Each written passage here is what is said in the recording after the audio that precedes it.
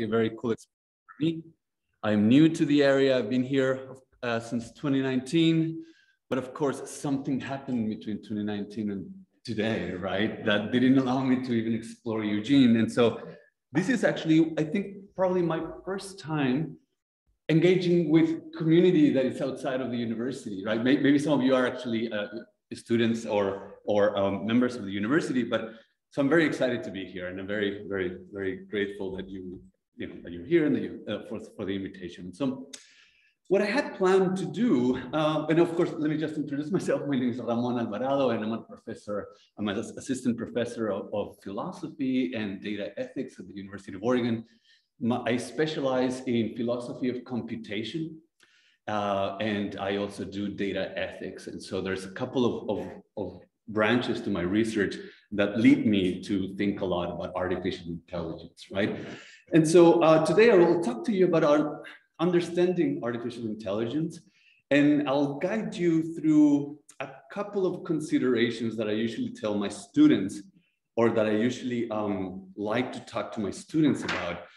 And it's this idea that, you know, despite everything that Hollywood tells us about AI, despite everything that we see in the media and that um, people repeat to themselves about what AI is capable and what it does and how it does it, there's something very important about understanding the actual artifact and understanding that a big part of artificial intelligence has to do with that artifact, right? And the artifact ends up being a lot more boring than what the um, pop media tells us. So at the end of it all, I'm gonna kind of guide you through a few considerations that perhaps will make you think that AI is actually pretty boring, but hopefully it would also make you think that AI has a completely different set of implications uh, than the ones that you thought um, were the case, right? And so the first thing uh, is that we're not going to be talking about robots too much today. We're not going to be talking about that kind of application of artificial intelligence because I want to go to the nitty gritty and the details of what these methods are that people call AI, where they are used, and then what are their ethical or epistemic implications, right? What, what do they mean for knowledge?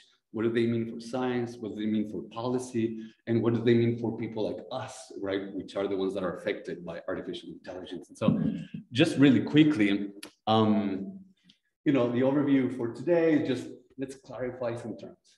Let's talk about it. And of course, you know, it's gonna sound like a lecture in the beginning because, um, you know, it, it, would be nice for us to get sort of in the, on the same page. Try to run really quickly through all of that stuff so that hopefully, yeah, we can actually just engage with each other and talk about um, what you're worried about, what you're thinking about concerning AI, right? So first, what is AI? How does it work? What does it do? And then we'll talk about then the implications for, for philosophers, the implications for ethicists, and definitely the implications for us as citizens, for us as um, subjects of these technologies, right? And then we'll open it up to discussion. So let's start just really quickly. Um, in philosophy, there's a big history of dealing with AI, but this history was very narrow.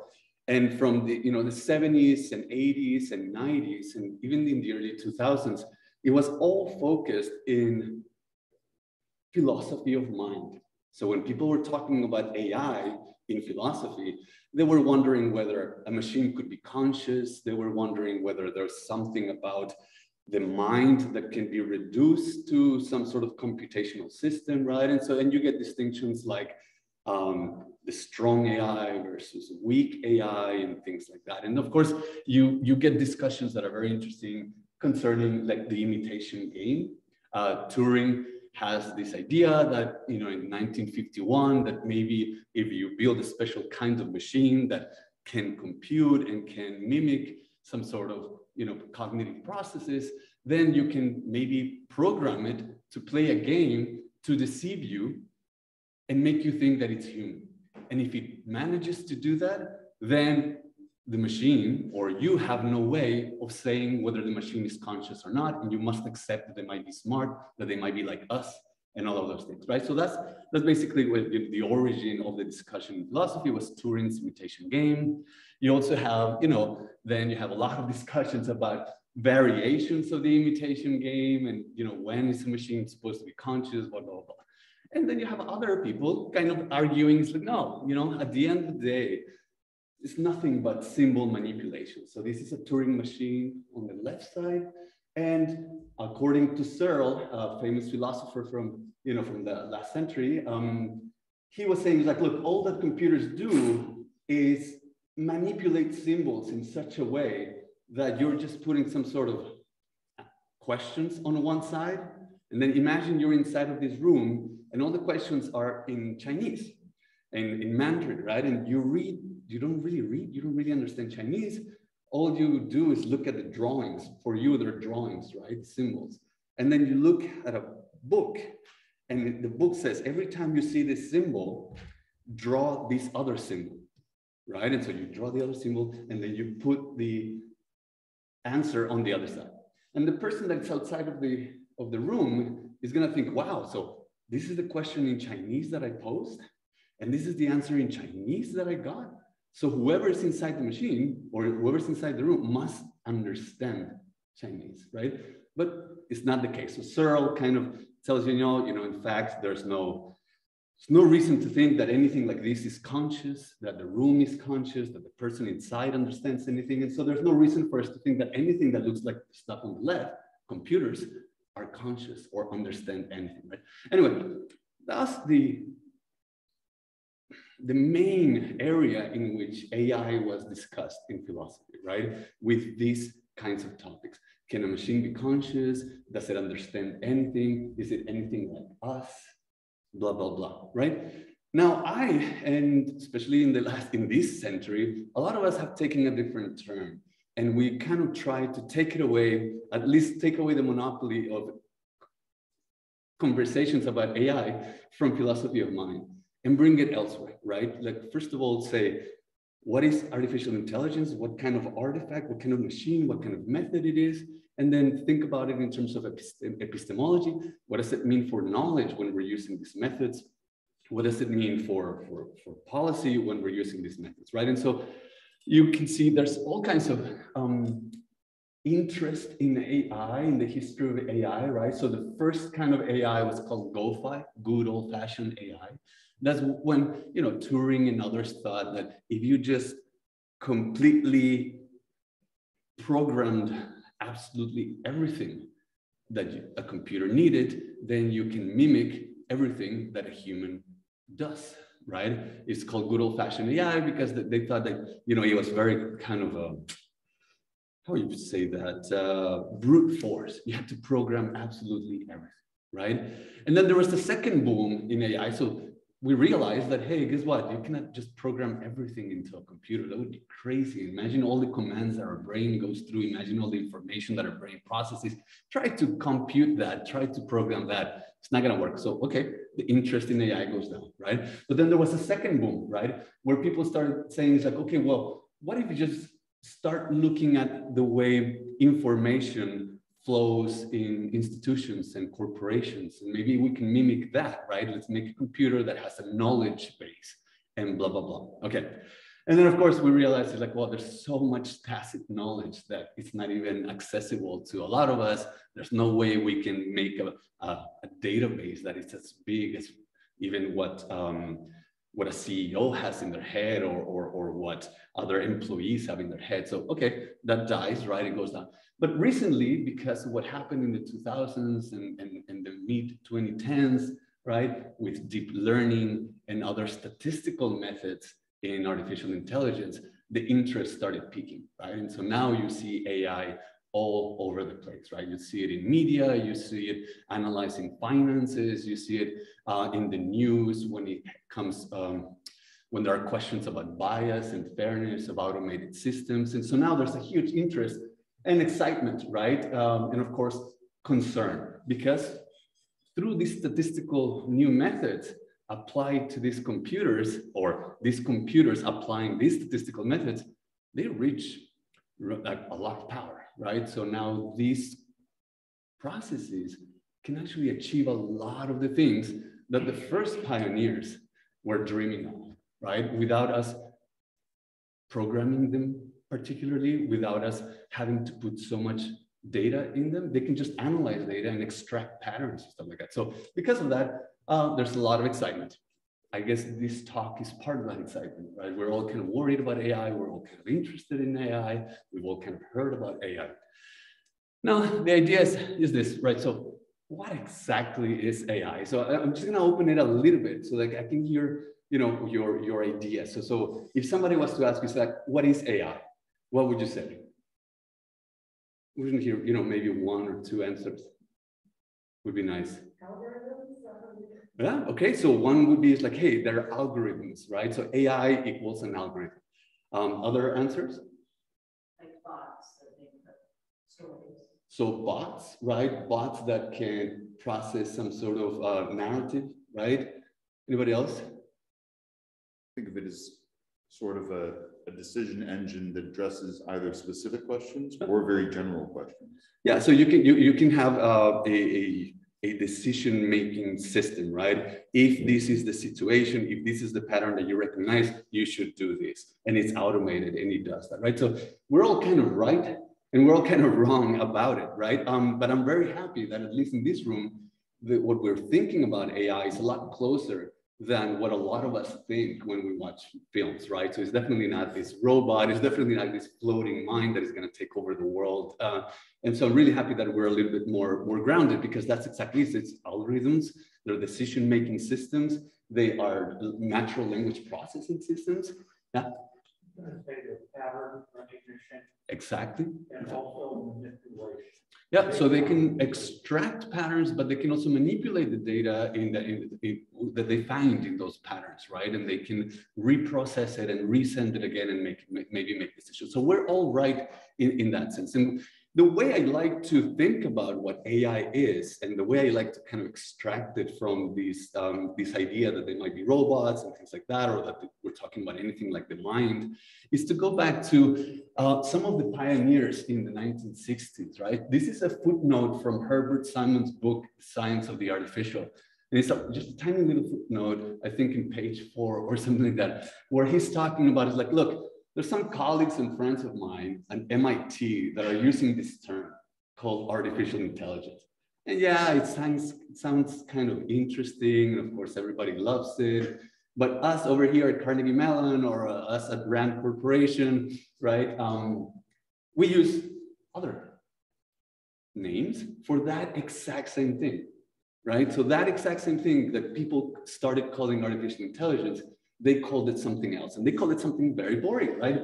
They call it either complex information processing systems, or they call them, you know, um, the possibility of simulation cognitive uh, processes, right? And so when, when, when I see this footnote, and I discovered this footnote, you know, a few years back, I was really, really uh, happy because finally here was evidence, historical evidence that we didn't just have to use the term AI, um, and that I actually, the term AI was a little bit muddy, right? Every time you say intelligence, makes you think of humans. Every time you say intelligence, it makes you think of reason and inference and stuff like that, right? And for a lot of us that were uh, acquainted with the machinery, the methods, the computations, you know, it didn't look like anything intelligent, right? It didn't, it looked more like just manipulation of patterns. It looked more like algorithms, right? And so what you know what this uh, told me is like, look, okay, so maybe maybe this is very telling, and imagine all the all the um, all the trouble we would have saved if, if instead of calling it AI, we called it something very boring like C uh, CIP, right, or SCP. We would have kind of not had to write about the mind and how machines are conscious, right? It wouldn't have elicited the same kind of, of philosophical troubles that we got into in the 1990s. And so interesting, of course, we would also have missed out on a lot of sci-fi, right? Because nobody would have written about these boring names. Um, we wouldn't have Westworld, we wouldn't have all of those things, right? And so, but at the very least, it was very telling for me. And it was very telling because um, if the pioneers thought that you know these terms were interchangeable, then maybe we can examine these terms that are a little bit more precise, less muddy, less cloudy, less less mystical almost, right? That have nothing to do with the mind when you look at complex information systems, or at least that they don't sound like that. Um, and so, you know, I started kind of looking into it and a lot of people started kind of looking into this. Um, to be more precise about this artifact, right? And so if we look, for example, what kind of what kind of information do they mean when they say these are complex information processing systems? Well, at the time, in the 50s and the 60s, of course, they, they meant just numbers, right? Numeric information. And these uh, were sometimes even binary because in the 50s, um, computers were even a lot simpler than they are today, right? And of course, they were processing. What do they mean by processing? Well, just manipulating, right? Getting this number, erasing it, putting another number here, getting that first number and putting it over here. And then that's just that, right? Interchanging numbers. They were manipulating the numbers and, and, and all of that in stuff. And so again, sounds a lot more boring than AI, right? It sounds a lot more boring than what, whatever our brains are doing. Of course, our brains are capable of doing this. They're capable of so much more, right? Um, what about the second definition, right? Simulation of cognitive processes. So yes, they manipulate information. Yes, this information is numeric or binary. But what do they mean when they say that these systems manipulate um, or you know are mimicking cognitive processes? Well, what they meant at the time is like, guess what humans do that makes them intelligent? Well, they do math. They do logic. So if we can build a machine that does math and logic, then we build a machine that's like humans, right? They had a very kind of narrow version of, of what humans did with their brains. And of course, some of those math and logic uh, issues were a little bit more complex and they were problem solving. Um, and they could, you could, with these skills of math and logic, you could play games like chess, very difficult games that took very smart people to master, right? So all of that just gives us an idea that what they had in mind was, hey, these machines that can process binary uh, and can manipulate binary information or numeric information such that they can mimic uh, doing logic or solving problems or playing chess, right? Stuff like that. But, you know, there must be something more to it, right? Because what I just described is a computer, but it's not necessarily AI. And, and a lot of us already know that AI is not a computer. Uh, AI has something to do with a computer, but there's something else, right? And the, the answers, of course, um, before, um, you know, you think it's like, oh, this is really boring. It is my, my agenda to make AI really boring, right? Um, but maybe not so much. As you might say, it's like, look, there must be something to that, right? And the idea is like, yes, of course, because there, there, there's more than what I just described, right? Because a computer by itself is not AI, an algorithm by itself is not AI, it has to be a, a specific kind of computer and a specific kind of algorithm, right? And so, but the other part of the answer is that, well, yeah, there's something more to it, um, but not very different, right?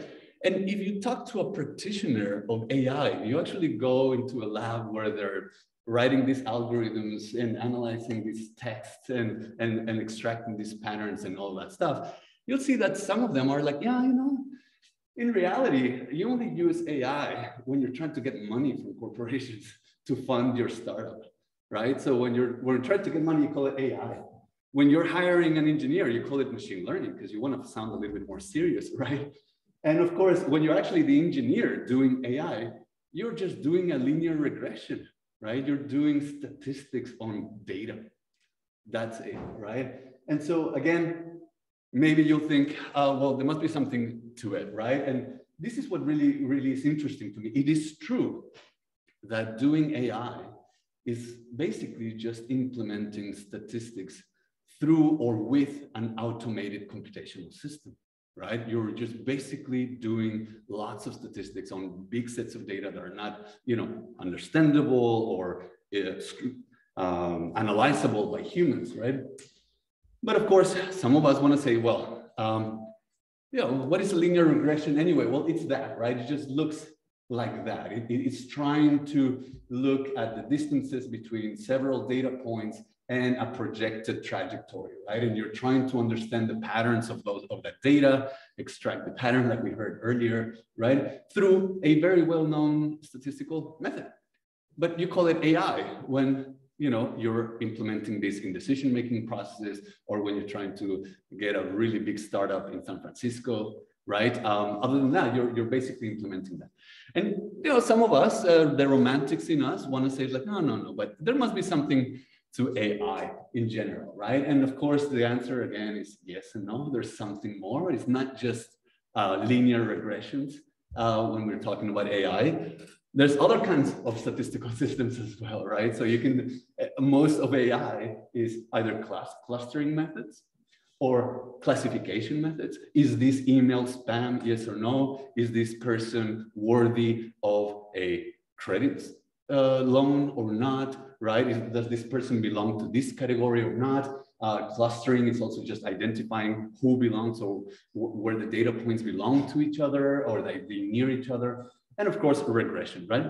Now, the interesting part, of course, I'm making it look very simplistic. These are very sophisticated computational systems, but I really want you to at least have in your head, when people say AI, this is what they're talking about, right? And even if you're thinking like, okay, yes, Ramon, but guess what?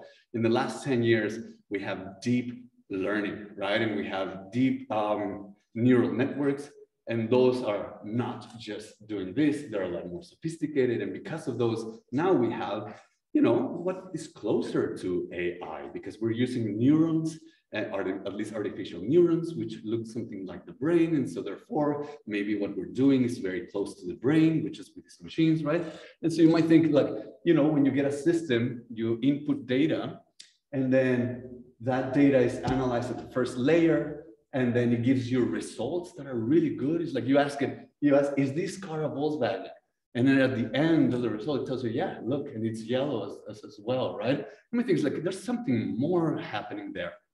Um, but you know, the interesting part about deep neural networks is that they happen to also just be lots of math and lots of um, lots of statistics being done, sometimes even just probabilistic methods and functions. This is a fictional uh, neural network that is just really deep, right? Or it has, you know, it has more than three layers. That's what deep means.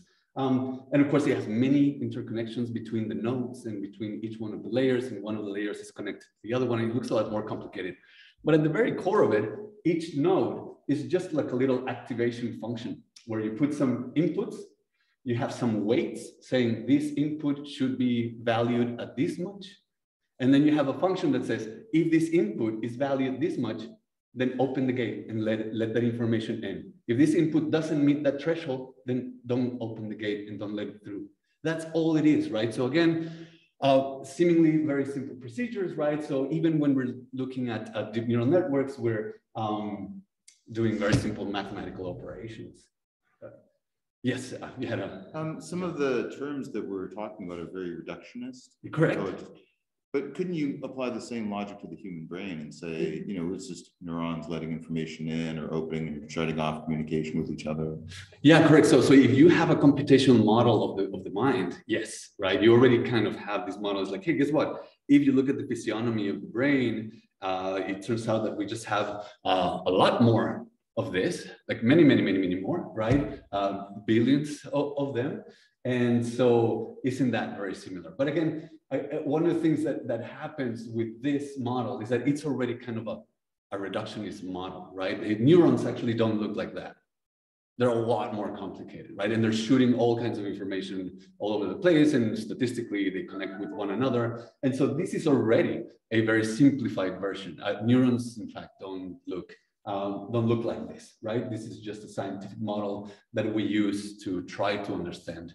And so what I would say is that um, yes, this is reductionist even of AI, but if you use this model, you're being even more reductionist about the brain itself.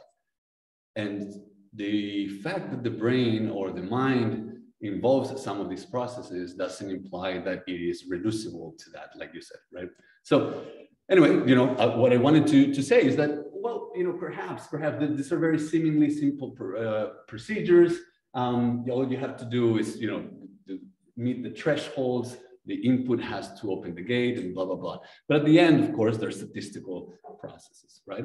And one of the things that like um, you might say, yes, you, you might say, like you, like you said, that, well, don't we do the same thing? And what if we apply these statistical methods to, let's say, a body like a robot, right? wouldn't that be more similar to us, right? And for some of us, the idea is that this is just more of the same, right? You just build the, you put statistical methods in fingers, you put statistical methods in hands, you put statistical methods in vision, you put statistical methods, and still just statistical methods, but applied to a moving machine that looks more humanoid, right? Um, but, but I want to go back because what's really interesting to me about AI, and especially the artificial part, the artifice, is that you know they're basically spreadsheets and analytics on, on, on data. That's what we're dealing with when we're talking about artificial intelligence, especially in the 21st century.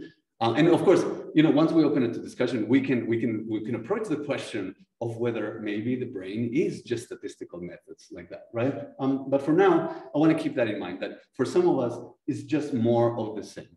And so the implications are, you know, why would a philosopher be afraid? Why would you be afraid of a, um, of a spreadsheet?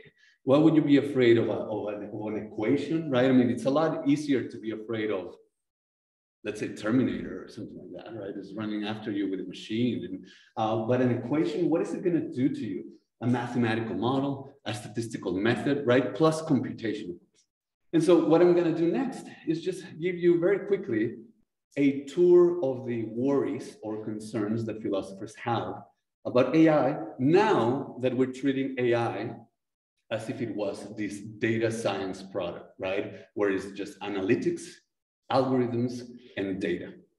And so the first worry for some of us is that you know, knowledge might be at peril, right? Where you have these automated decision makers, where you have these automated analysis methods you might be doing science wrong, and you might be doing science very quickly, and you might not be doing good science after all. So if you think about the way science or some scientific procedures were done, let's say 100 years ago, where somebody, even if you had a mathematical model, you could follow the equation with pen and paper, right? Or you could just actually do all the process.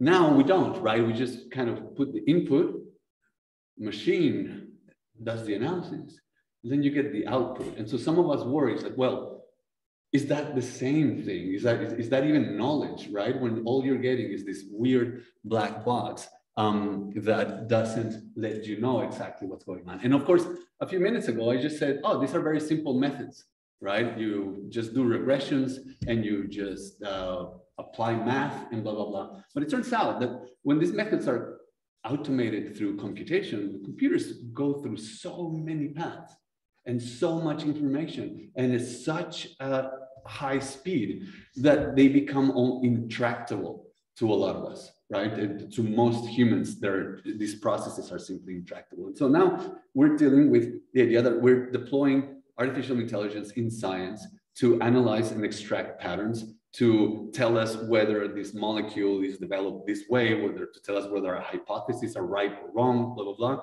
And and it's really hard what's going on, to know what's going on inside. And so that's the first word. The first word is epistemic.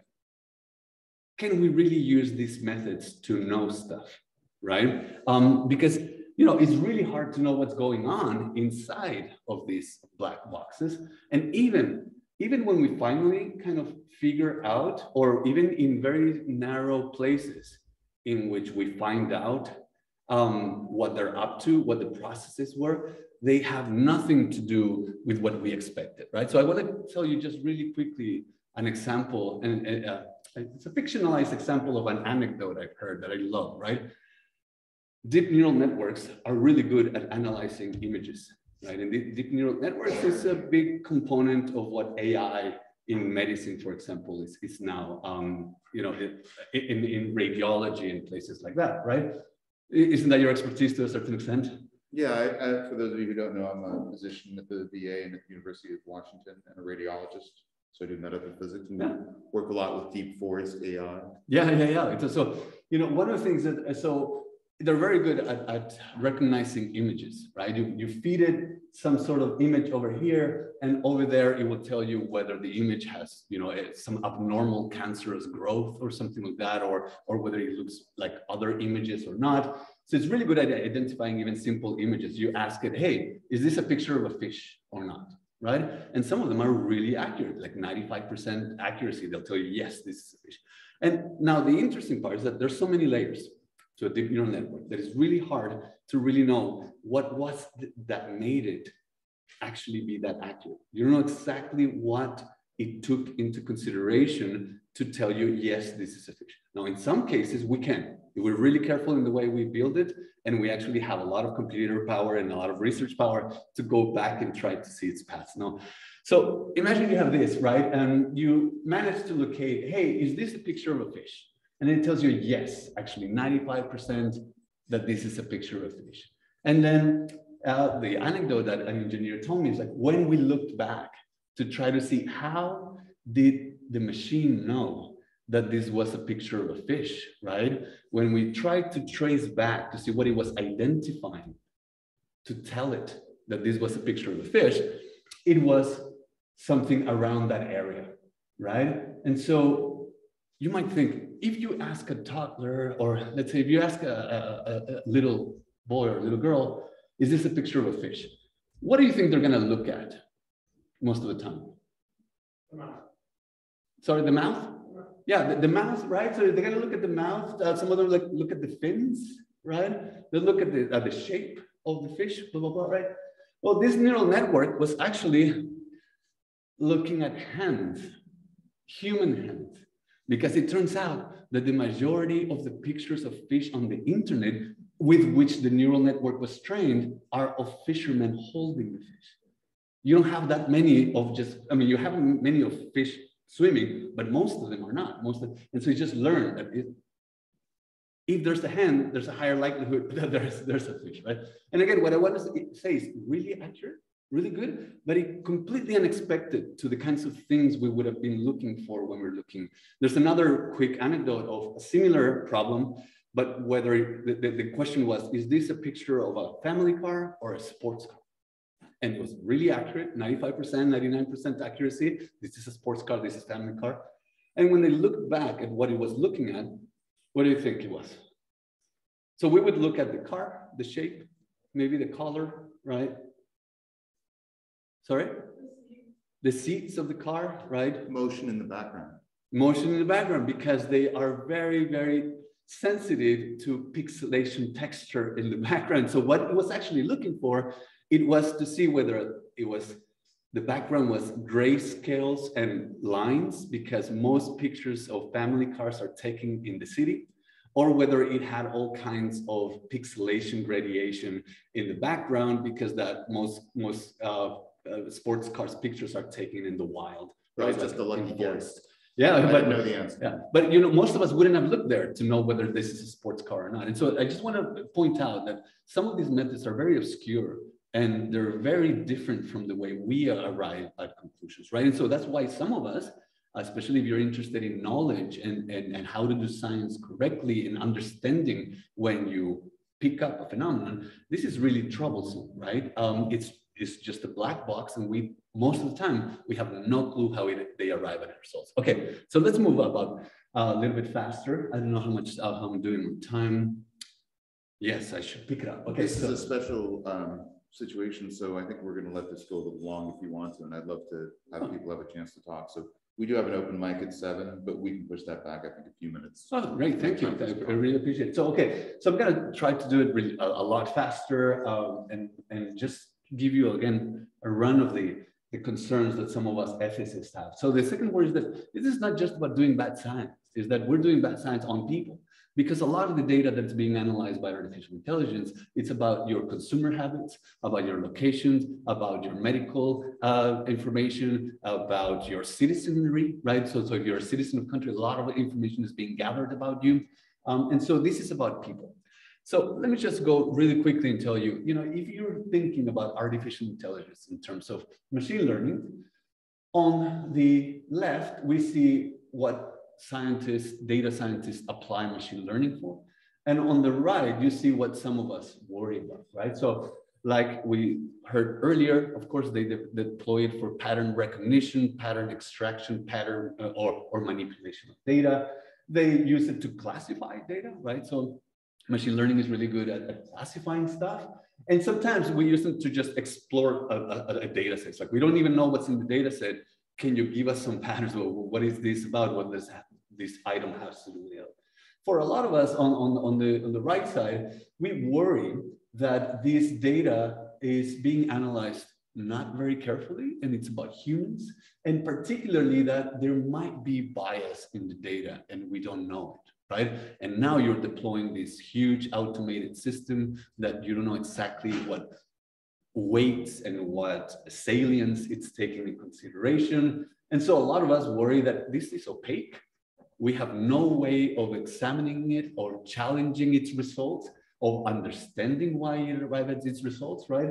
And there might be all kinds of, of, of bias there. So for example, in early search uh, algorithms in Google, you can put something like, hey, what's the most common wedding attire? And if it was in the early 2000s, you would get a picture like the one on the left. Why? Well, because the data was biased, right? So most of Google's pictures at the time came from Western uh, developed countries where most of the weddings look like the stuff on the, on the left, right? But we know that given the population of the world, given that most of the population is not in these kinds of countries, they actually are found in India and in China and in Latin America, right? The most common wedding attire looks something completely different to this one, right? And so this is something that can happen when your data set is biased. And you know, bias can happen at many different steps of the machine learning pipeline you can have historical bias. Hey, guess what?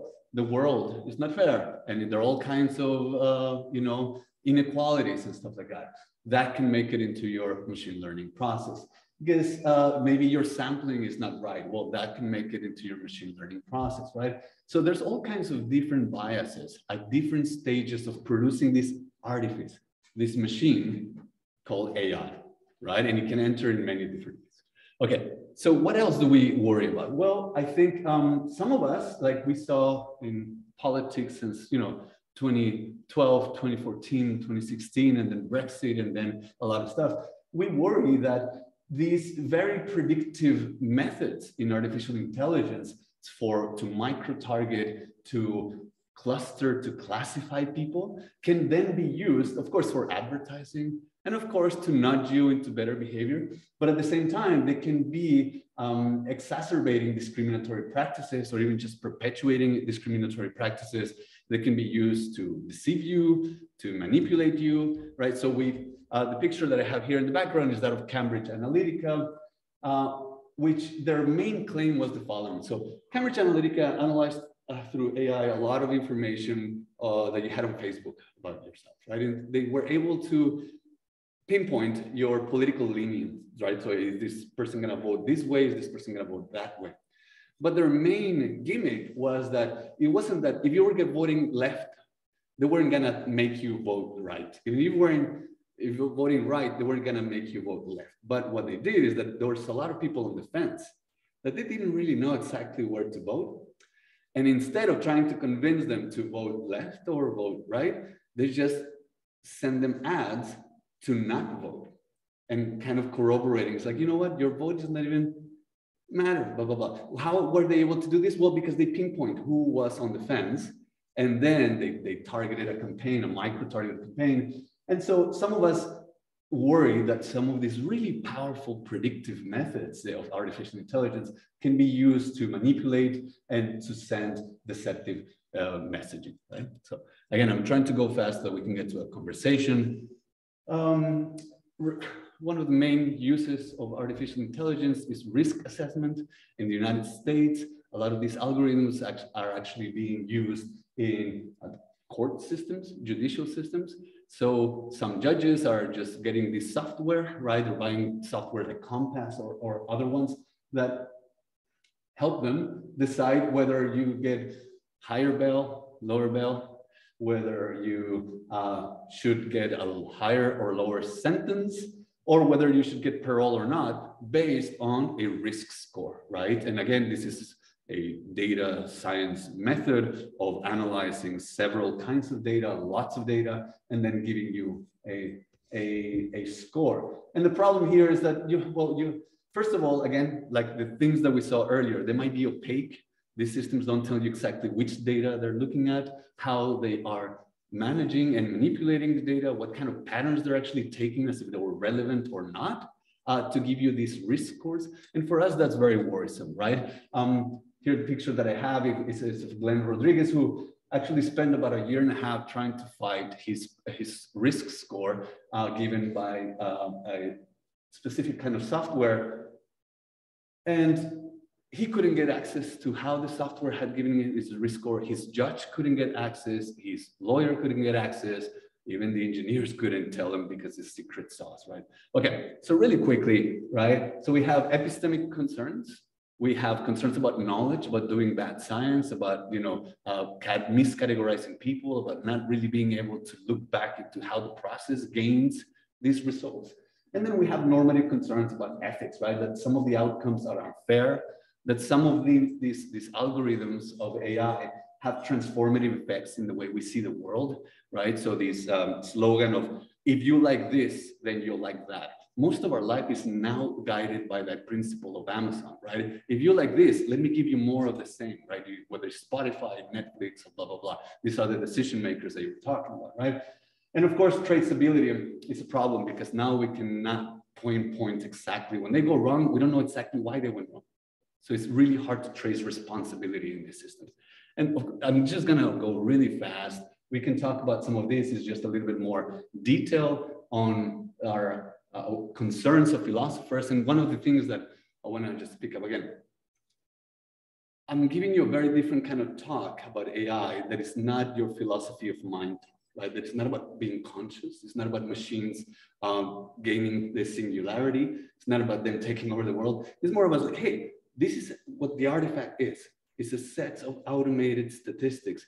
But guess what? It may have even more power than Terminator, right? It may have even more power over your life in the next 50 years because finances are going to be regulated through AI systems, because medical uh, decisions are going to be regulated through automated systems of AI and machine learning, right? And so, well, here's uh, just really um, quickly, let's talk about automation, right? So a lot of us are worried that humans will be replaced by artificial intelligence and it's semi-true, not, not exactly. You have people that say, look, radiologists, for example, radiologists are a dying breed, right? They, they shouldn't even be trained anymore because guess what? There's all kinds of AI, especially deep uh, neural networks that can do the job way better.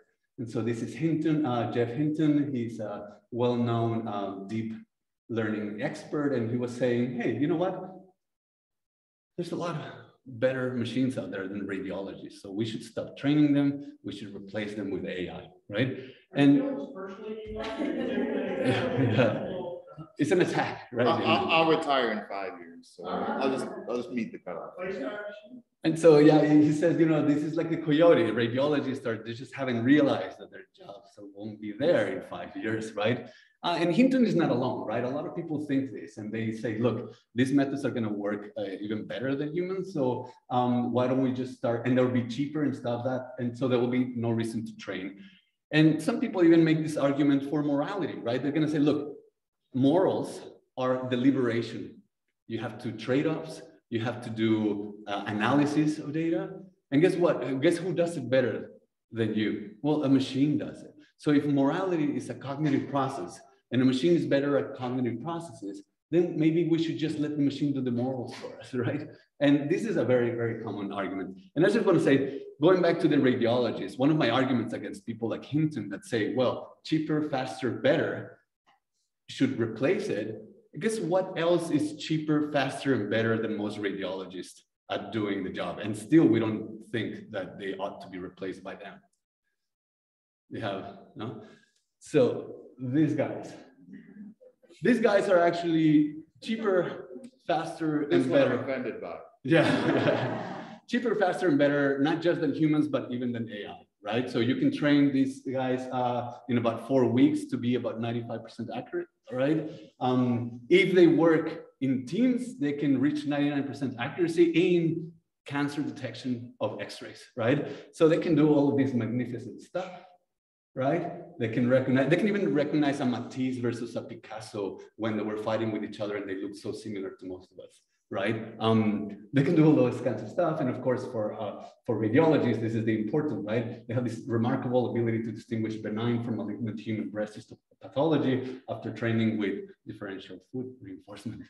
Um, so now the interesting part is that, you know, if you really buy Hinton's claim that we should be replacing humans with AI just because they're cheaper, faster, better, then, you know, you should, um, you cannot deny then, yeah, let's, let's make Pigeon a uh, colleague, right? And have him at the lab or at the clinic with us. Uh, but you're, when you're really happy about AI. So anyway, lots of stuff to talk about. Hopefully this was a little bit informative. Um, I hope we can we can we can have a next conversation about all of this stuff. Let's open it up to questions now and have some, some questions from the crowd. Yeah. So you said that um, AI basically can learn, so if I photograph of the hands of fish, kind of thing, but it actually learned that itself, wasn't it was programmed to look for. Uh-huh. What's the difference between AI and humans? Well, you know, it depends on how what you say it, it was programmed. So it depends. If it's a supervised machine learning, then you kind of program it, but you don't really program it. You just kind of give data, and every time it gets it wrong, you kind of tell it, no, it's it, you got it wrong, so you don't get any points, and you incentivize it, blah blah blah, right? And and then it starts looking at patterns. And um, you might say, and even Turing said this uh, in the 1950s. He says, like, you know, how how different is that from training a baby, right, or training a other boy?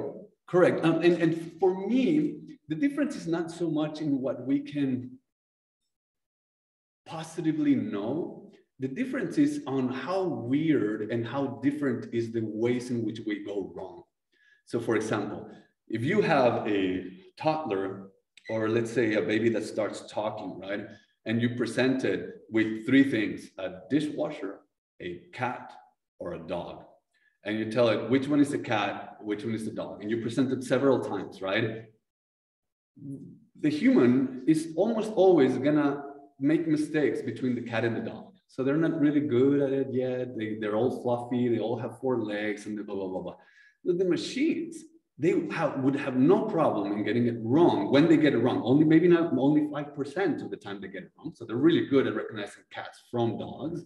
But sometimes they misrecognize a washing machine for a dog or a cat. That's something that wouldn't happen with, with humans. And so for me, what's interesting is not so much what they can do well, because they can do things even better than us, but the ways in which they can err what we call catastrophically, right? They, they just go completely haywire and they still have the same level of confidence. They'll tell you, this dishwasher, they'll tell you, 95% sure it's a cat.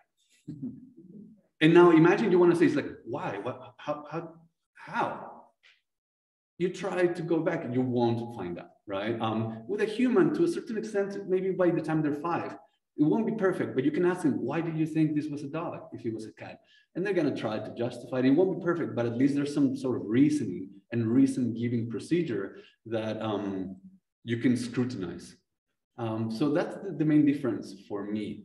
And, and the other thing is that you can achieve very similar things with completely different methods, right? Um, so I can get a wooden piece of, you know, that looks like a face with a speaker inside and say, and, and program it to say, it's like every time somebody walks, say hello, right? Or I can train a human and say, you know, every time somebody walks into the store, say hello. So you can achieve the exact same thing by completely different methods. And from the outside, they might look similar, but on the inside, there's absolutely nothing even, even remotely close to one another, right? So just because we can achieve similar results doesn't mean that we're achieving similar inside uh, processes. And I think the, the inside processes may matter. So I think that we have one and then two I haven't been watching, but I think Will had his hand up first. Yeah, yeah. Well, I wanted to just kind of piggyback on this too, or say here, is I think that um, some of the distinction would certainly come for the reasons, for the need to identify the fish or the, the boat or whatever it is. Like for human beings, we have an intrinsic need to identify things in order to survive, uh -huh. we will die. And the robot, or excuse me, the, the computer system has the need um, to identify things because we want it to, because we're curious about what happens. And so I think that we can't separate that from the methods or from the distinctions. I think like the need or the reasons why we're even doing this in the first place is intrinsic to the, to the distinction. Right, but we have the ability to use all senses to, to make our decisions on information that's coming in, where AI is dependent on whatever we put into it. And we need to acknowledge yes or no, the, like, uh, zeros and ones or whatever, that's all of its information, so that Yeah. it's still, it's learning process. True. They can learn how to then reason. Yeah. Like, gee, every time I see a fish, it's got a hand in the picture as well, so when I see a hand, it should be a fish. It's so- so- then we're still making a decision at that point. True, but like, like, I think one of the, well, some philosophers in the nineteen nineties sort of said, Searle, I think it was, there's some sort of intentionality that humans have. They have an intention when they do stuff, right? So, so my intention is to actually do something for a reason or something like that. Whereas the machine, it can do it, but it doesn't have the intentionality part. Now, I, I wouldn't go all the way utilitarian saying that almost all human um, crafts and arts and endeavors are, are for survival purposes. I actually think a lot of what distinguishes from any other animal is that we do stuff for absolutely terrible reasons um, that are not to our best or, you know, to, to our, for our best interest. So I think things like um, pursuing the color blue before we were actually able to get the pigments took a lot of people to go into cliffs and grab a little mollusk that was attached to the cliffs and then breaking the mollusk and then opening it up and then getting this blue. That cost lives, right? So it wasn't for survival. And it was definitely not like we needed blue anyway, right? We just wanted it. And so uh, uh, we wanted it. So that's actually even more, more in, in, interesting to me that we do stuff uh, that is not just for survival, uh, whereas even a machine might just do it for utilitarian reasons. Um, Interestingly, if you read the Old Testament, I don't know many things about the Bible, but I know one of one of the things is if you read the Old Testament in its original language, there was no word for the color blue. Hmm. Because really the color, the name for the color blue didn't really evolve into language until we had a way of creating it, Hmm. interestingly. So, yeah. Um, I have a question. So there's a lot of, we sort of think of like, can AI do these things and can it complete like a Turing test or other things? Are there ways of thinking, how are we treating the AI instead? In other words, at what point does an AI have rights? Yeah, yeah, At- At one point, if I take my computer and I smash it, have I done an evil towards the computer? Yeah, that, that's a big question in AI ethics, uh, and especially the, the, the kind of AI ethics that took the other path towards cognition and towards um, consciousness and towards the possibility of cognition and consciousness in machines, right? So that's a, a really big debate. And, and some, some people um, just took the default position that, look, if it quacks, if it walks, and if it does what a duck does, then you should treat it like one, right? Just to be on the safe side. And so if you can replicate that kind of stuff, then you, you should. Uh, and some of us are, are a little bit more, well, cautious in that I'm not sure. I'm not sure when does an AI uh, become a full moral member of our community, right? I don't know if, if uh, that by the time my toaster is plugged into 5G, it can recognize my face, um, whether I should respect it more, for example, than my dog that cannot do that, uh, or my cat that you know doesn't even care about me. Um, sorry. Oh, yeah, yeah, yeah. But but imagine these ones actually not just my face, but also that I'm hungry, and also that I want this, and also that uh, that I anticipate even the toast that they're going to give me. Imagine that it could do more cognitive things. I'm not sure that that's enough for me to give it more rights than I give to to the creature, right? And of course, a lot of the animal, sorry, a, lot of the AI rights are modeling uh, their their conversation and the debates from uh, animal rights. That we used to think that only animals were worthy of being moral um, members, and then so that only humans. And then, of course, we were finding out that these cognitive processes happening at all kinds of levels with all kinds of different cognitions, and then we included them. And so, uh, what I want to say is that this is a very uh, complex debate, um, and and there's a lot of uh, there's a lot of questions about whether we should even grant them rights to start with. Let's do uh, Beck and then Robert, and then let's do one more question after that. And then after that, we'll probably transition into the open mic. Yeah. And I want to do, give a couple of closing words for the people who just walked in. Yeah. Let's do Beck's question. Yeah, um, more of like an ethical question. Um, would one concern be that, um, by automating a lot of decisions, um, especially with like really consequential decisions that, you know, can really like, you know, make or break someone's life. Yeah. Um, That kind of giving that to the machine is sort of a way of the human operators are absolving themselves of responsibility. It's like, you know, that's just, you put the numbers, so that's just what the machine spat out, you know, it's, we can't do anything about it, it's.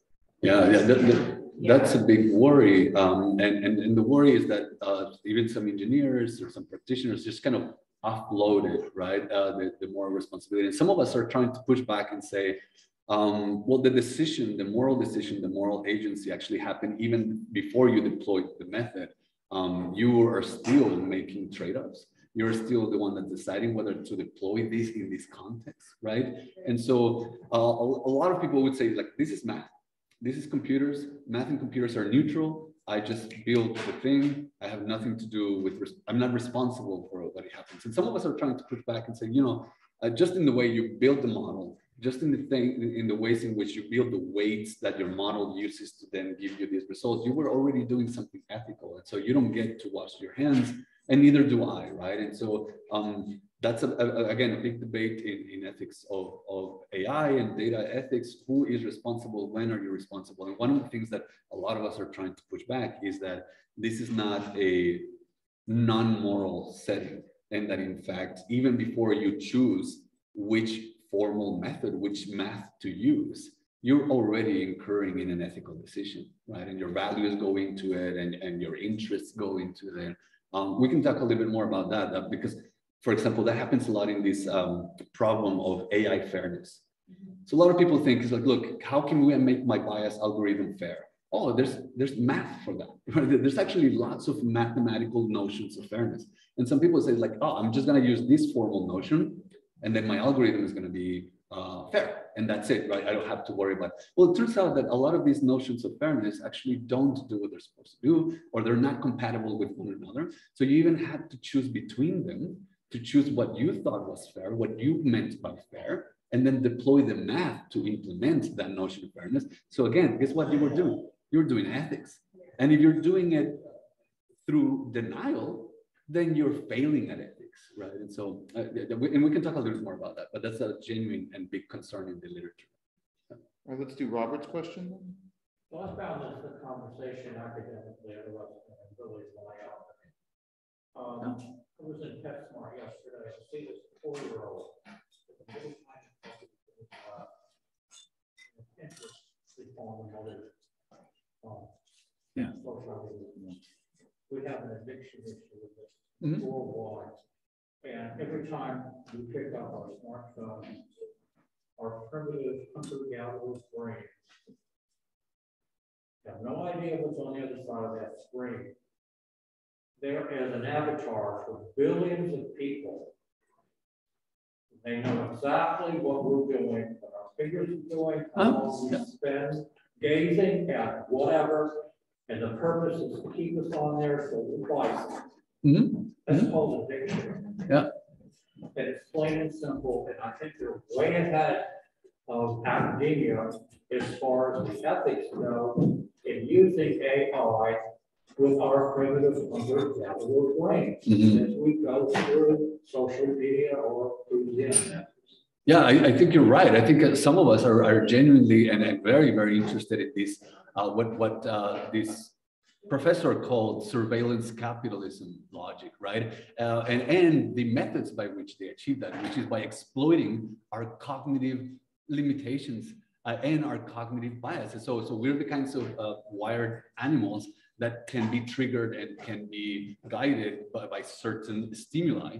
And these applications and these technologies have members, the groups of 30 engineers, 30 psychologists, 30 social psychologists look, devising ways to trigger more of these responses. And so uh, for a lot of us, this is extremely worrisome in the context, of course, human agency, but even in the, in the context of democracy and in the context of being at the end an autonomous being and and so uh, uh, you you on the nail this is one of the concerns of the data ethicists as well as the ai ethicists because they, they go hand in hand that um these technologies and the way they're being built are far very quickly surpassing our own ability to defend ourselves but even our governments to defend us uh, uh, through regulation and, and our other means. And so that's definitely a worry that we have. Okay, so um, uh, I want to encourage you all to ask questions. And um, so what I'm going to do now at this point is just kind of open it up to a discussion and everyone can meet Dr. Alvarado and you can hang out for longer and we can ask questions. But um, we're going to transition. I'm going to start setting up the stage for the open mic. I did put out the sign up sheet.